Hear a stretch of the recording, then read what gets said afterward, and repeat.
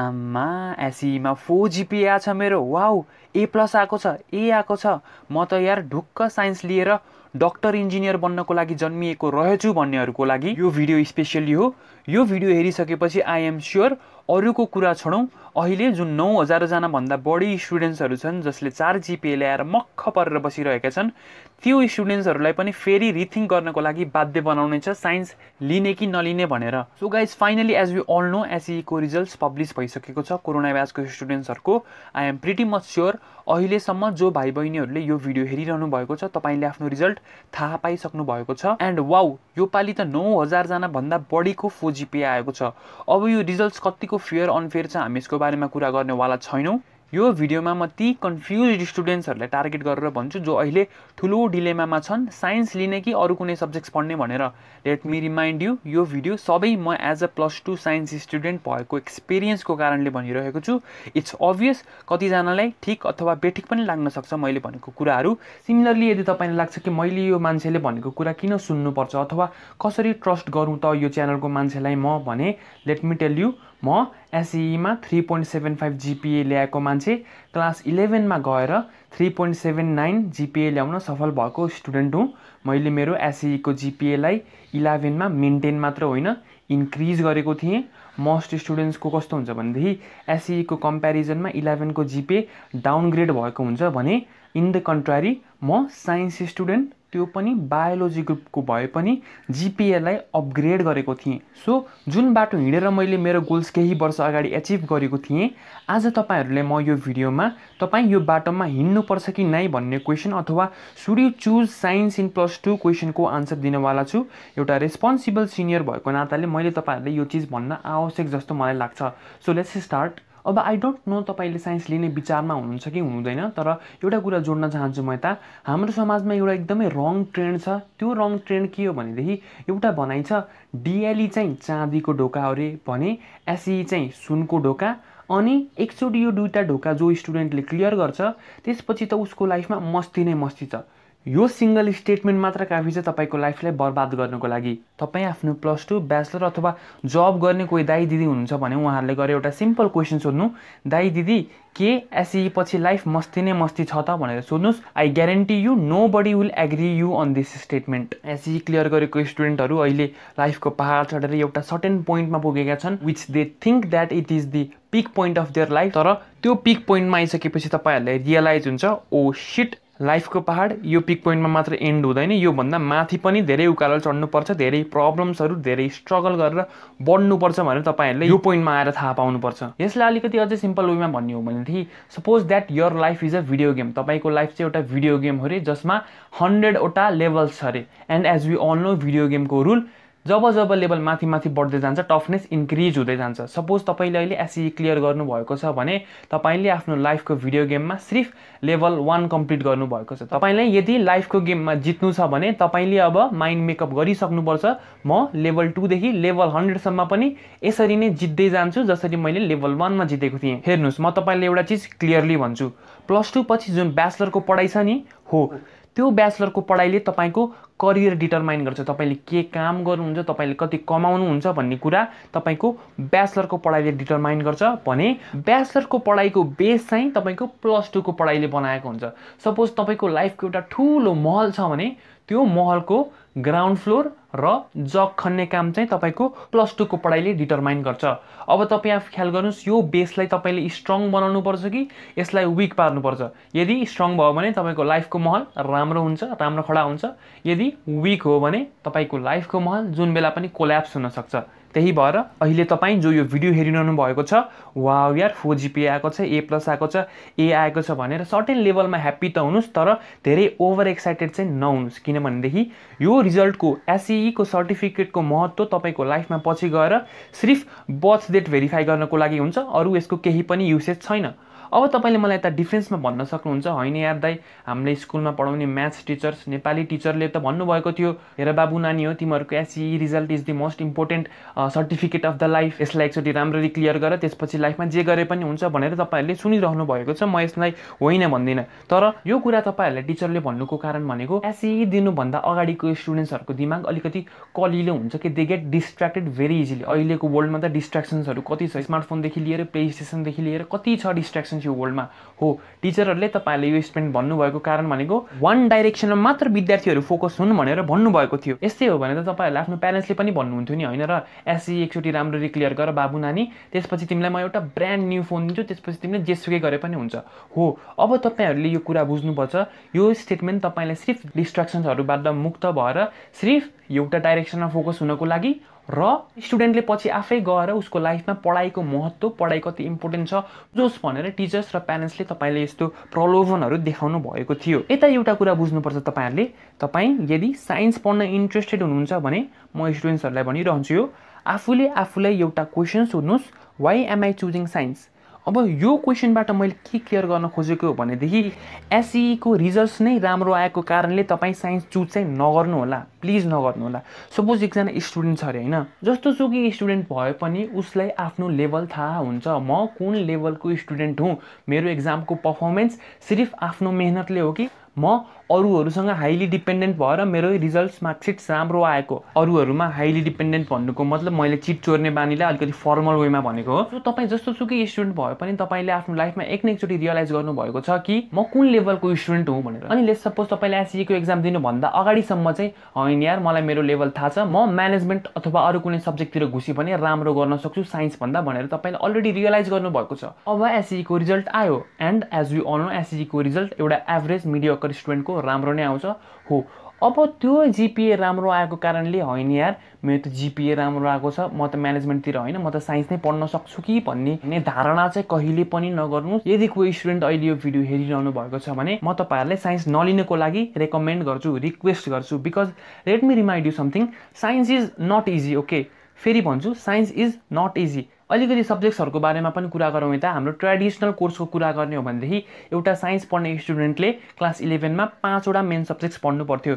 First हो English second हो physics third हो केमेस्ट्री फोर्थ हो बायोलोजी अथवा तपाईँसँग अप्सन पनि छ कम्प्युटर पढ्ने अनि फिफ्थ हो म्याथमेटिक्स। यस म मान्छु सिर्फ पाँचवटा सब्जेक्ट हुन्छ तपाईँहरूलाई अहिले लागि पनि रहेको होला। ह्या यार हामीले त क्लास टेनमा यदि सात आठवटा सब्जेक्ट्स पढेको थियौँ क्लास इलेभेनमा गएर जब पाँचवटा सब्जेक्ट हुन्छ साइन्स पढ्ने स्टुडेन्टको किन नसकिएला र भन्ने तपाईँले सोच्न पनि सक्नुहुन्छ। तर यति डेप्थ यति डिटेलमा पढ्नुपर्छ नि तपाईँले क्लास इलेभेनको कोर्स कि तपाईँको लगभग एसईभन्दा अगाडिको लाइक सेभेन एटवटा बुक्सहरू त एउटा फिजिक्सको बराबर हुन्छ। अनि तपाईँले होस् नै नपुर्याइकन सिर्फ आफ्नो जिपिएको आधारमा मात्र साइन्स चुज गर्नुभयो भनेदेखि तपाईँलाई म एउटा कुरा क्लियर गर्न चाहन्छु।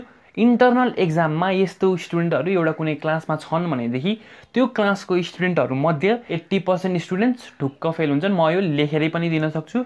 अनि यो एट्टी पर्सेन्ट फेल भएको स्टुडेन्ट्सहरूमध्ये लगभग फिफ्टी पर्सेन्टजना इङ्ग्लिस बाहेक चारवटा सब्जेक्टमा फेल हुन्छन्।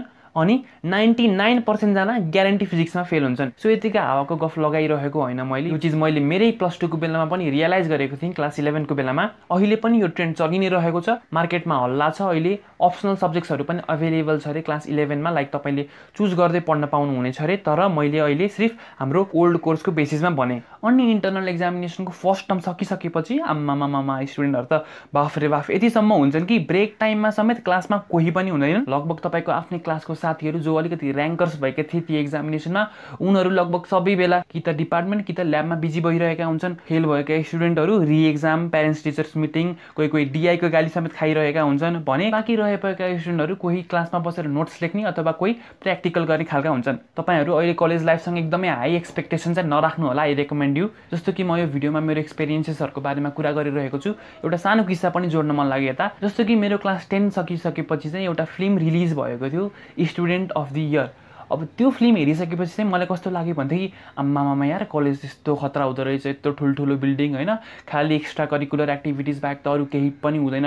कलेजमा आउटड्रेस गक्स लाएर टक्क झिल्के भएर जान पाइन्छ। त्यसपछि आफू कलेजमा गइसकेपछि ए केटीहरू यत्तिकै हाम्रो स्पेसिफिकल्ली हाम्रै लागि वेलकम गर्नको लागि भनेर ए गिटार सितार बजाएर डान्स गरिरहेका हुन्छन्। अनि आलिया भट्ट जस्तो केटीहरू चाहिँ सिङ्गल भएर उनीहरूलाई गर्लफ्रेन्ड बनाउनु पाइन्छ घुमाउनु पाइन्छ भन्ने खालको एक्सपेक्टेसनहरू राखेको थिएँ। अनि त्यसपछि कलेज जान्छु त लौ कुन ठाउँमा आइपुगेँ म यार? जस्तो फिलिङ भएको थियो। कि यता त यार इन्टरनल एक्जामिनेसनमा राम्रो गर्ने मार्क्स राम्रो ल्याउने भन्दा अरू कसैले केही पनि सोच्दैनन् अघि जस्तो मैले भने म्याक्सिमम स्टुडेन्ट्सहरू डिपार्टमेन्टमा बिजी कोही प्र्याक्टिकल ल्याबमा बिजी अनि कोही कोही स्टुडेन्टहरू त यस्तो पनि हुन्थ्यो कि लाइक इलेभेन क्लासबाट नै इन्ट्रान्स प्रिपेरिङ सेन्टरहरूमा गएर प्लस टू पछि कसरी नाम निकाल्ने भनेर पनि सिकिरहेका हुन्थे मल्टिपल चोइस क्वेसनहरू क्लासैमा ल्याएर एटेम्प पनि गरिरहेका हुन्थ्यो कि।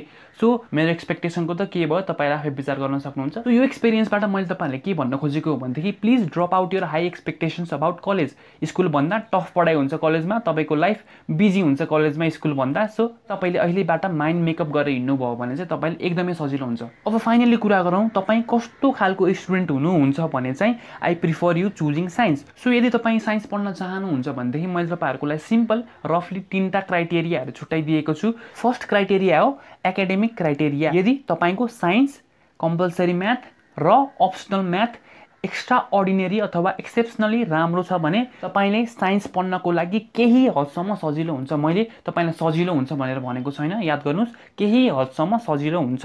तर एउटा कुरा यता के पनि बुझ्नुहोस् भनेदेखि यो जुन मैले क्राइटेरिया नम्बर वानमा एकाडेमिक क्राइटेरिया राखिदिएको छु यो अप्सनल क्राइटेरिया हो। तपाईँको साइन्स म्याथ स्ट्रङ भए पनि विक भए पनि you can choose science if you qualify for criteria number two and criteria number three criteria number टूमा हो एटिट्युड अफ सेक्रिफाइस यो क्राइटेरिया नम्बर वान जस्तो अप्सनल क्राइटेरिया होइन? यो compulsory criteria you must have the attitude of sacrifice के प्रकारको sacrifice भनेदेखि अहिलेको वर्ल्डमा as I have already mention भिडियोको अगाडिमा डिस्ट्राक्सन्सहरू धेरै छन् धेरै छन्। तपाईँसँग ब्रान्ड न्यू फोन छ हातमा ड्याडी मम्मीले गिफ्ट दिनुभएको अथवा अलरेडी अगाडिबाट थियो। त्यसपछि नयाँ साथीहरू भन्छन् नयाँ साथीहरूसँग घुलमिल हुनु मन लाग्छ। त्यसपछि मुभिजहरूबाट तपाईँले सिक्नु भएको छ कलेज लाइफमा त्यहाँ साथीहरूसँग मोज मस्ती गर्नु पर्दो रहेछ बार रेस्टुरेन्टहरू जानु पर्दो रहेछ। यस्तो खालको डिस्ट्राक्सनहरू तपाईँले यदि सेक्रिफाइस गर्न सक्नुभयो भनेदेखि तपाईँले कसैले पनि रोक्दैन साइन्स पढ्नबाट। अब कुरा गरौँ थर्ड क्राइटेरियाको बारेमा। यो हो तपाईँको विल पावर अथवा डिटर्मिनेसन यो पनि क्राइटेरिया नम्बर टू जस्तै। कम्पलसरी क्राइटेरिया हो। You must have strong will power and determination तपाईँ होइन म साइन्स पढ्न लायकको स्टुडेन्ट हुँ। म पढेरै छोड्छु केही गरेरै देखाउँछु। यसले केही पनि गरी खाँदैन यसले हलो जोतेर नै कमाउँछ हलो जोत्नु पनि इन्फ्याक्ट नराम्रो त होइन। त्यही पनि यस्तो भन्ने मान्छेहरूको लागि खतरा इक्जाम्पल बनाएर देखाउँछु। मसँग एटिट्युड अफ सेक्रिफाइस छ। यदि कहीँ कतै केही मिस्टेक भयो केही गडबडी भयो फेल सेल भयो भनेदेखि I solely will be responsible for this म हार मान्दिनँ। म यो चिजलाई करेक्ट गर्नको लागि जुनसुकै लेभलमा पनि सेक्रिफाइस गर्न सक्छु चाहे त्यो मोबाइल होस् चाहे त्यो टिभी होस् चाहे त्यो नेटफ्लिक्स सिरिज हो भनेदेखि। Yes my friend you have that will power and determination तपाईँसँग टाइगर टाइग्रेसको एटिट्युड छ। And this attitude will really be helpful for you not only in this phase of your life but for future as well एउटा सानो कुरा पनि जोड्न मन लाग्यो मलाई यता। मलाई धेरै स्टुडेन्ट्सहरूले आफ्नो प्रब्लम सुनाउने क्रममा यो भनि पनि रहेका हुन्छन्। यहाँ याद दाई हेर्नु न मलाई त साइन्स पढ्न नै मन थिएन तर फेरि मलाई स्कुलमा मेरो टिचरले त तँ त साइन्स नै पढ्न लागेको स्टुडेन्ट होस् तँ साइन्स नै पढेर डक्टर इन्जिनियर बनेर देखाउनु पर्छ अथवा प्यारेन्ट्सले फोर्स गर्न सक्नुहुन्छ तपाईँले साइन्स पढ भनेर अथवा अरू कोही साथीहरूले होइन म यसलाई देखाएरै छोड्छु म साइन्स पढेर म डक्टर भएर इन्जिनियर भएर यो केटीले यो केटाले मलाई धोका दिएको थिए थियो म यसलाई केही न केही गरेर देखाउँछु म साइन्स पढेर नै देखाउँछु भन्ने सोचिरहनु भएको छ भने प्लिज रिथिङ्क वान्स ओके तपाईँको यही एउटा लाइफको पोइन्टमा डिसिजन मेकिङ रङ भएको कारणले तपाईँको होल लाइफ नै वेस्ट जान सक्छ। आई मिन यस्तो गर्नु भनेको तपाईँ लाइफको अहिलेसम्म एसई क्लियर गर्नु जेलसम्म पिच रोडमा हिँडिरहनु भएको थियो तर एउटा सिम्पल डिसिजन मेकिङमा रङ भएर तपाईँको लाइफ अब यो पिच बाटो सकिसकेपछि कच्ची बाटोको त कुरै छोडौँ। तपाईँ एउटा यस्तो ठुलो खाल्टोमा खस्नुहुन्छ कि त्यो खाल्टोबाट न तपाईँ पछाडि फर्किन सक्नुहुन्छ न तपाईँ अगाडि बढ्न सक्नुहुन्छ। त्यति मात्र होइन। पैसाको पनि वेस्ट हुन्छ। लगभग एभरेज एउटा प्राइभेट कलेजको कुरा गर्ने हो भनेदेखि साढे एक लाखदेखि दुई लाखसम्म त मजासँग लाग्छ फी तर यदि तपाईँ राम्रो स्टुडेन्ट हुनुभयो भनेदेखि विभिन्न स्कलरसिप स्किमको मार्फतबाट तपाईँले यो फीलाई डिडक्सन पनि गर्न सक्नुहुन्छ। तपाईँसँग लाइक मैले मेन्सन गरेको तिनवटा अझै त्यो माथि पनि टू र थ्री पोइन्ट नम्बरको दुईवटा मेन क्राइटेरिया छैन भने साइन्स पढ्नको लागि एकचोटि फेरि रिथिङ्क गर्नुहोस्। वो सिनारीमा यदि तपाईँ अहिले साइन्स चुज गरेर पछि ब्याचलर्समा गएर अरू कुनै सब्जेक्टको करियर बनाउनु भन्दा अहिले नै त्यो करियरको लागि चाहिने सब्जेक्ट पढेर अगाडि बढ्नु बेस्ट भनेर म तपाईँहरूलाई रेकमेन्ड गर्छु। सो आई नो मेरो च्यानलको मेम्बर्सहरू अथवा सब्सक्राइबर्सहरू लगभग सबैजना साइन्स ब्याकग्राउन्डबाट हुनुहुन्छ। यदि कोही साइन्स प्लस टूमा पढिरहनु भएको छ अथवा पढिसक्नु भएको स्टुडेन्ट छ भने मैले यो भिडियोमा भनेको कुराहरू तपाईँको लाइफसँग कतिको रिलेटेबल छ अथवा कुनै एउटा यस्तो एक्सपिरियन्स सेयर गर्नु जति बेला तपाईँलाई होइन पुग्यो। अब म साइन्स हन्ड्रेड पर्सेन्ट अहिले ठ्याक्कै छोडिदिन्छु। यस्तो खालको experience you can comment down म फेरि भन्छु तपाईँहरूलाई मैले भिडियोको मार्फतबाट डराउन खोजेको होइन। यदि तपाईँले मैले भनेको क्राइटेरिया अथवा अरू कुनै क्राइटेरियाहरू तपाईँहरूले आफ्नो सिनियर्सहरूले अथवा मेन्टर्सहरूले भन्नुहुन्छ त्यो क्राइटेरिया तपाईँसँग छ भने मजासँग ढुक्क भएर होइन म आफ्नो गोल्सहरूलाई एचिभ गर्छु भनेर साइन्स मजासँग पढ्दा हुन्छ। सो यो भिडियो हेरिसकेपछि यदि तपाईँले साइन्स प्लस टूमा चुज गर्नुभयो भने हामीहरूको भेट फेरि यो च्यानलमा भइ नै हाल्छ। किनभनेदेखि यो च्यानलमा म साइन्स स्टुडेन्टलाई नै फाइदा हुने विभिन्न कन्टेन्टहरू हालिरहेको हुन्छु। सो डु सब्सक्राइब त्यति बेलासम्मको लागि धन्यवाद।